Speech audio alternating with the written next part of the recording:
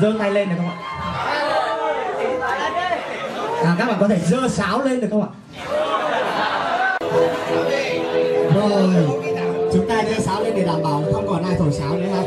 Rồi ok vâng và xin nhiệt liệt chào mừng toàn thể các quý khách các anh các chị cùng toàn thể các bạn có mặt trong chương trình offline hồi ngộ xã Đông đoàn miền Nam.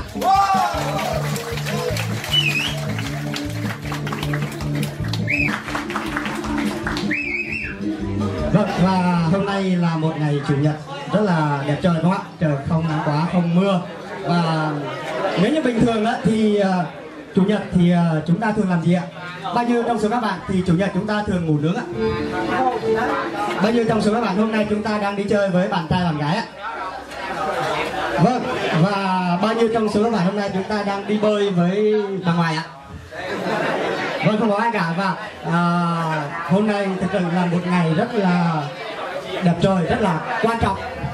Và chúng ta đã dành một chút thời gian có mặt cùng với nhau trong cái chương trình online này. Vâng và sự hiện diện của tất cả các bạn hôm nay đó chính là một điều cực kỳ quý giá mà chúng ta đã dành cho nhau. Và hãy cho nhau một tràng pháo tay to hơn nữa nè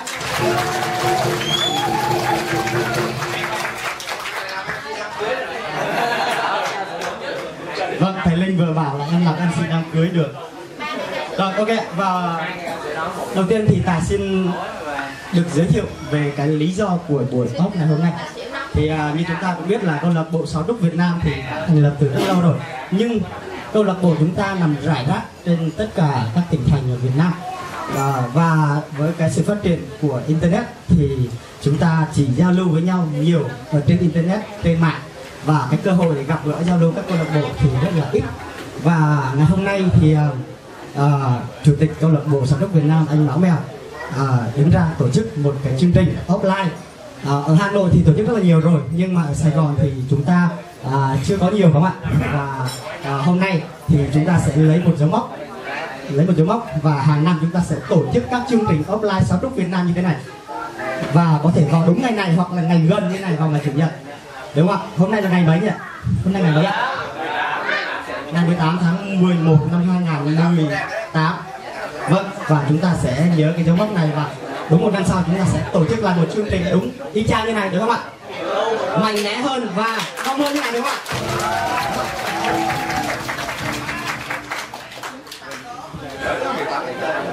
À, thì à, các bạn cũng đã biết về à, Ờ, uh, cái chương trình thông qua ờ, kênh Facebook chúng ta đã giới thiệu. Thì hôm nay uh, chương trình offline hội ngộ sáng đốc miền Nam có sự góp mặt của khá là nhiều các nghệ sĩ. Uh, và sau đây thì đại xin giới thiệu uh, danh sách những nghệ sĩ có mặt ngày hôm nay đúng không ạ? Đầu tiên xin uh, giới thiệu nghệ sĩ ưu tú Đinh Linh.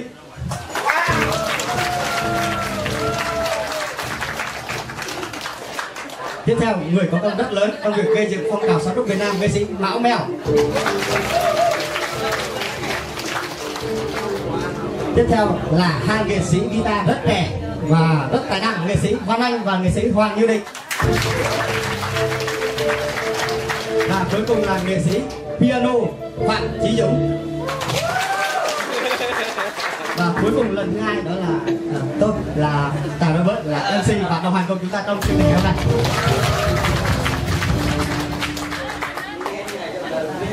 Vâng, à, hôm nay à, phải nói một từ chỉ dùng được mỗi một từ thôi Đó là từ gì ạ? Wow Các bạn wow lên một cái được không ạ? Wow Vâng, và tại vì quá Từ bé tới giờ chưa bao giờ Tài đi tham gia một offline học ông như thế này Vâng, và cảm xúc thật là vỡ hòa Phải nói là vỡ thật. Vâng, thì um, hôm nay. Hôm nay có rất là nhiều câu lạc bộ Thì Tài xin uh, điểm danh qua một số câu lạc bộ. Anh em câu lạc bộ sáu trúc lang thang ở đâu ạ? To hơn nữa ạ? À, vì tôi thấy các bạn đông hơn. Đông nhất à, tiếp theo là câu lạc bộ sáu trúc bình dương ạ. Bình dương đâu? Vâng đúng rồi câu lạc bộ sáo đúc siêu vàng kỹ thuật ạ. Siêu vàng kỹ thuật đâu vâng xin đúng ạ. Câu lạc bộ sáo đốc trường sa đâu ạ? Vâng chào các bạn câu lạc bộ sáo đốc long thành. Vâng câu lạc bộ sáo đốc long thành là một trong những đơn vị xa nhất và đánh đường tới đây tham gia vào chúng ta. Nhưng mà số lượng rất là đông ạ. Vâng hãy dành cho nhau một tràng pháo tay. Được ơi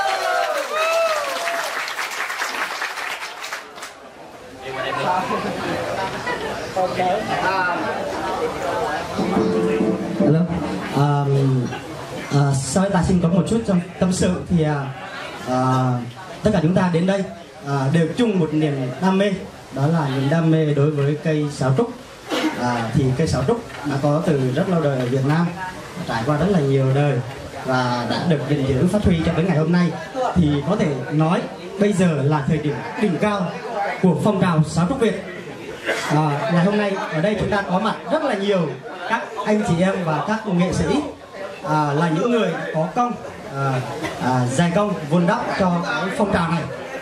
À, thì um, ta cũng rất là là là là mong muốn à, các bạn có thể là được nghe một chút chia sẻ như đó về cái phong trào sáu trúc hiện tại à, về tương lai à, hay là những cái câu hỏi chút chút thôi à, ờ, để cho chúng ta có thể bắt đầu được chương trình uh, offline ngày hôm nay thì uh, tài xin mời anh mão mèo lên đây để, để giới thiệu một chút xíu về cái chương trình offline cũng như là uh, giới thiệu về phong trào xóa túc hiện tại À, trước hết xin gửi lời chào tới tất cả các thầy, các bạn cùng toàn thể các anh em đam mê sở trúc uh, có mặt trong hội trường của chúng ta ngày hôm nay và cho các người vào các. Thì uh, ở miền Bắc, miền Trung, miền Nam thì có rất là nhiều các câu lạc bộ và các câu lạc bộ cũng giống như bàn tài vừa nói là nằm rải rác khắp nơi. Và đây chỉ là những cái ngày mà chúng ta có thể quý tụ lại được các anh em đang với sở trúc và chúng ta mới có thể nhìn gặp mặt nhau. Và hiện tại thì có rất là nhiều câu lạc bộ nhưng mà chúng ta vẫn đang ngồi vào từng nhóm với nhau đúng không? Thì uh, lát nữa thì dần dần chúng ta sẽ có cái sự giao lưu. Và đặc biệt là chúng ta hiện tại ở trên Việt Nam, theo thống kê, trên Facebook thì có hơn 200 câu lạc bộ sở trúc. Và đó là một điều rất đáng mừng và chúng ta phải cho một tràng tay về cái điều này. Ngày xưa thì là chúng ta học rất là khó khăn, nhưng bây giờ thì tất cả mọi thứ đã đưa đến chúng ta học một cách rất dễ dàng qua các cái hệ thống mạng internet. Và để chúng ta có thể kết hợp được với nhau và giao lưu lại với nhau thì sẽ có rất là nhiều câu lạc bộ nhỏ. Và ở mỗi tỉnh và mỗi cái trường đại học thì đều có các câu lạc bộ sáo nhưng mà có vấn đề đó là các bạn chưa kết nối lại với nhau. Thì ờ, cũng giống như vận tài nói là cái điểm hôm nay là cái điểm mốc và trung bình sẽ có 3 tháng một lần hoặc 4 tháng một lần chúng ta sẽ tổ chức một buổi gặp mặt như thế này. Để chúng ta có thể uh, giao lưu liên kết với nhau để cái cộng đồng sáo trúc nó sẽ rộng lớn hơn. Và hơn nữa là cái mức độ lan tỏa, chúng ta hiện tại bây giờ đang có một sự trầm xuống. Đó là cách đây 4 năm năm về trước thì là nó nó đã ở cái mốc rất thấp và đến khoảng một năm trở lại đây thì cái phong trào sáo rất là mạnh. Và đến cái thời điểm bây giờ nó lại đang là đi ngang, nó đang có một cái xu hướng là nó chững lại. Và để thay đổi cái cục diện của trận đấu thì chúng ta sẽ cố gắng tổ chức 3 đến 4 tháng một lần offline. Và thay thay đổi địa điểm nhé ví dụ như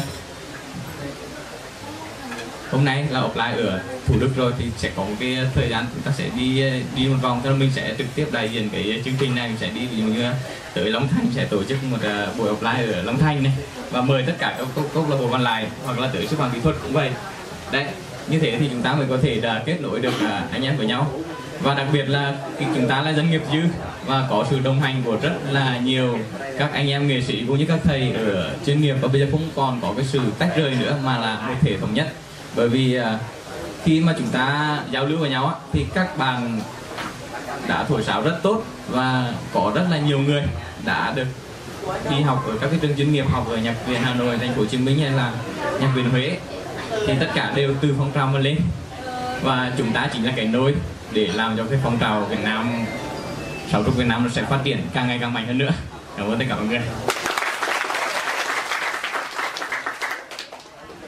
À, xin ờ, cảm ơn sự chia sẻ của anh Lão à, ờ, và thì sau đây thì ta cũng xin uh, tóm tắt lại cái nội dung của chương trình buổi ốc thì uh, phần 1 thì chúng ta sẽ giới thiệu về lý do.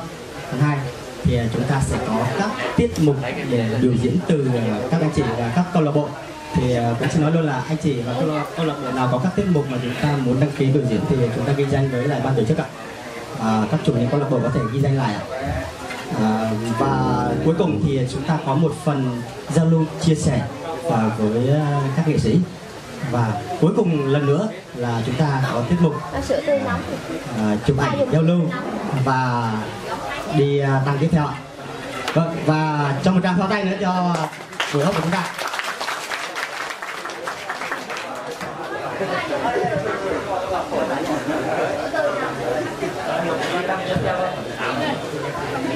À, và để bắt đầu cho chương trình biểu diễn giao lưu thì xin mời à, à, anh Mão đi sẽ à, à, gửi tặng mọi người một à, nhạc phẩm đúng không ạ? Rồi xin mời anh Mão. Mọi người cho một tràng pháo tay anh Mão lên sung hơn đi ạ. Sung hơn nha. Vâng,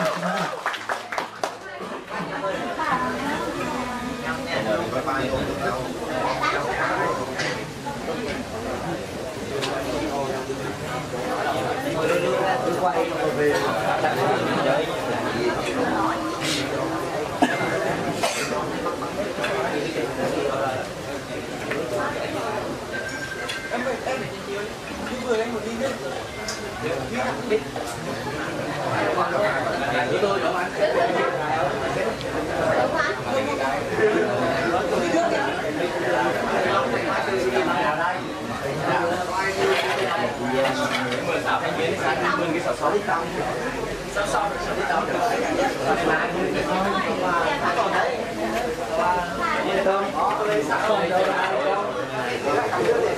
phải làm được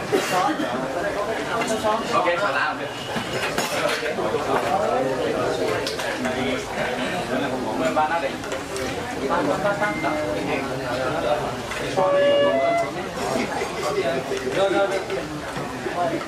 Ở đây nhóm mình có tiêu nước gì trước chưa?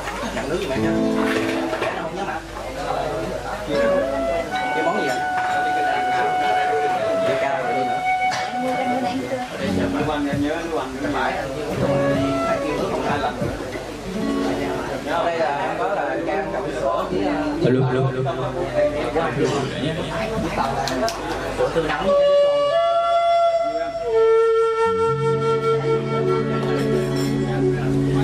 vẫn là cái phẩm rất quen thuộc đó là bên thời hải. Nhưng mà sẽ sẽ theo kiểu khác khác lượt mới một chút. À, chúng ta sẽ cho trang báo lại trước cái bài này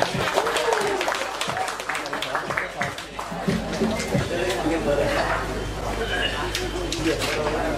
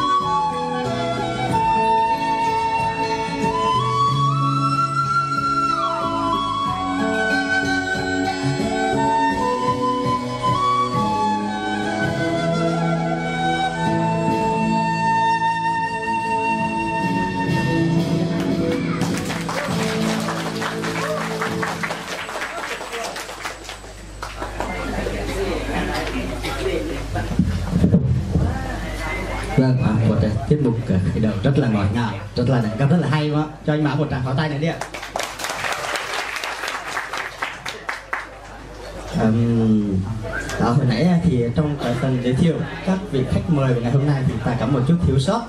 À, đó là có lời mời tới nghệ sĩ kỷ lục gia Guinness thế giới mai Đình tới. Nhưng mà à, anh tới hôm nay à, à đang công tác ở Cà Mau về không kịp. Vâng và tiếp theo là anh Kiều Văn Thanh từ nhà có đám tang à, và tất nhiên là tất tất nhiên là à, xin lỗi đám cưới. À, còn thì các anh tài thì cũng đang ở Đà Nẵng bay về không kịp luôn.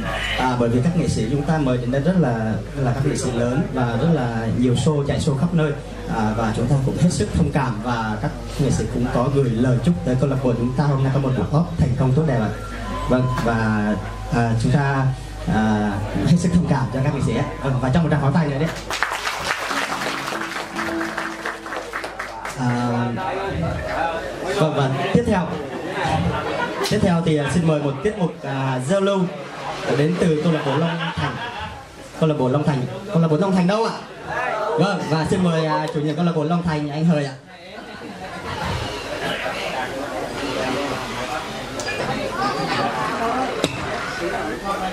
Nghe nhiều rồi. Nào nghe. Quay quay phải giảm phí cho người ơi làm nghe hơi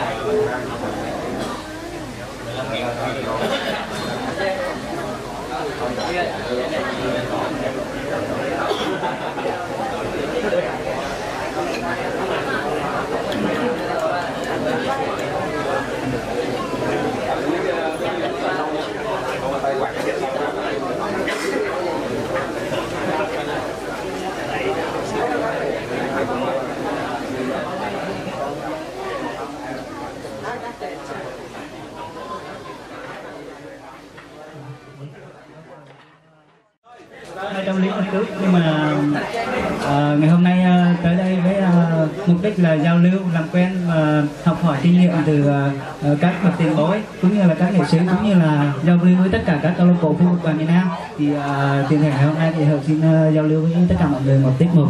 Đó là nhạc phẩm được mang tên nắng lên sóng nghèo. Xin mọi người.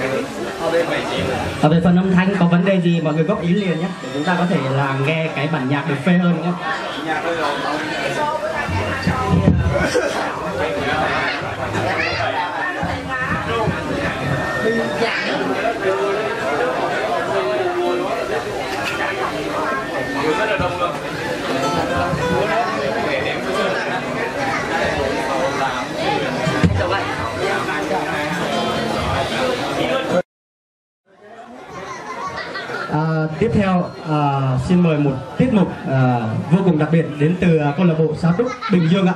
À, xin mời à, anh Thanh Tùng ạ với tiết mục Bình Minh quê hương.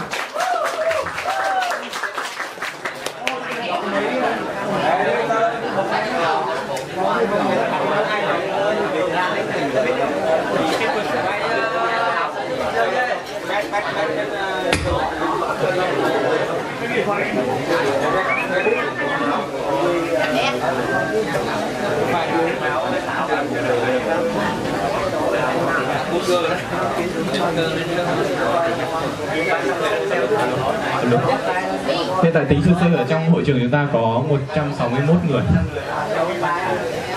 Và số người đang online là, đang xem là hiện tại chỉ có 194 người.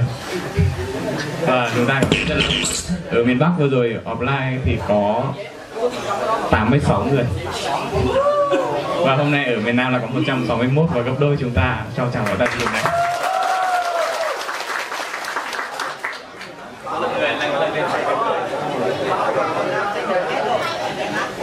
đầu tiên ờ, tôi xin gửi lời chúc sức khỏe và lời chào trân trọng nhất tới tất cả các ờ, nghệ sĩ, các anh ờ, chị và cùng có thể các bạn ờ, yêu sáu trên toàn miền Nam ngày hôm nay.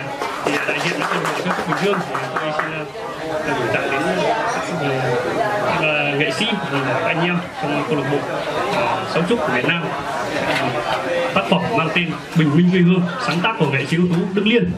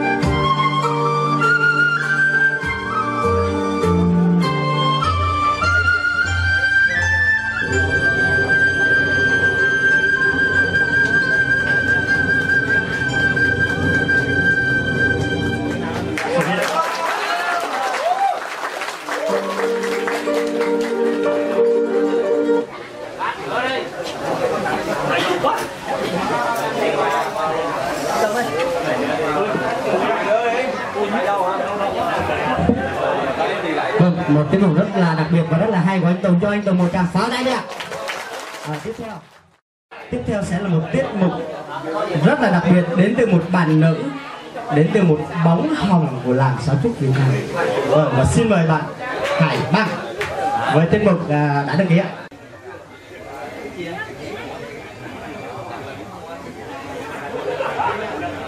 Và đầu tiên, Hải Đăng xin được gửi lời chào trân trọng và lời chúc sức khỏe tới tất cả ban tổ chức cùng tới tất cả các bạn cùng đam mê trong làng tê xéo ngày hôm nay. Lần đầu tiên thì Hải băng được uh, tham dự một buổi office uh, lớn như thế này và có uh, rất nhiều uh, các bạn thì thật sự là rất là hồi hộp và vui. Uh, Hải băng đến từ câu lạc bộ đam mê tê xéo Bảo Lộc. Uh, xin uh, được gửi tới mọi người bạn bè từ ban chủ về quê. Uh, xin mọi người cùng lắng nghe ạ. không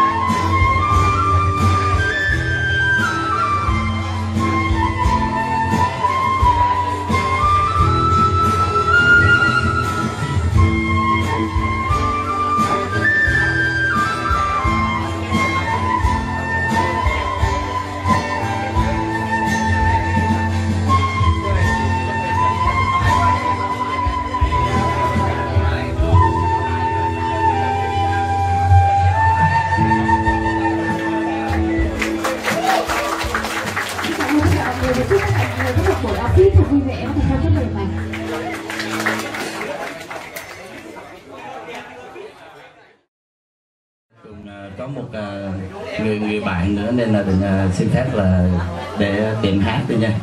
Mình mời ờ, bé Nhật Anh. Với một sáng tác của nhạc sĩ Phạm Duy ca khúc Bà mẹ quê.